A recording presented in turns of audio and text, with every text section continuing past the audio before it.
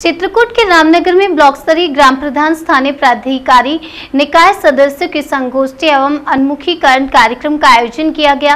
कार्यक्रम में मुख्य अतिथि के रूप में अविनाश चंद्र द्विवेदी विधायक, मऊ मानिकपुर विशिष्ट अतिथि गंगाधर मिश्र, ब्लॉक प्रमुख आदि रहे। आपको बता दें कि सीपी गौतम महाविद्यालय देवधा रामनगर में कार्यक्रम आयोजित किया गया।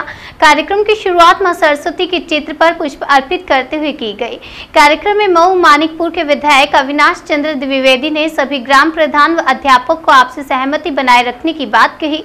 वहीं विद्यालय में मरम्मतकरण को लेकर ग्राम प्रधान व अध्यापक आपस में सहमति बनाए रखें, जिसमें गाँव और विद्यालय का विकास हो। शिक्षा की प्रगति हो, कार्यक्रम में जिला बेसिक शिक्षा अधिकारी चित्रकूट लव प्रकाश यादव प्रधानपति प्रधान संघ अध्यक्ष अरुण सिंह, खंड शिक्षा अधिकारी अतुल दत्त तिवारी, रामजी मिश्रा एडीओ देवेंद्र सिंह आदि लोग मौजूद रहे। उचित हो लेना हमारी, उस वक्त में। देना उन्हें मातृभूमि पर शीश रखाने, जिस वक्त जाए भी नले निश्चित रूप से आज स्थानीय कार्यकारी निकाय सदस्यों संगोष्ठी एवं उन्मुखीकरण कार्यक्रम में सीपी गौतम महाविद्यालय के प्रांगण में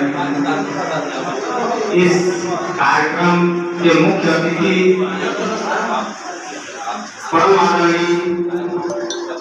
सभी सम्मानित ग्राम प्रधानों के लिए, सम्मानित अध्यापकों के लिए लंच की व्यवस्था है। तो आप सभी लोग इस कार्यक्रम के पश्चात लंच करेंगे और जो हमारे अध्यापक गण है लंच के बाद पुनः इस स्थान पर उपस्थित होंगे। उनको भी जाना नहीं है। जो हमारे मंचस्थ अतिथिगण हैं उनके अलग से एक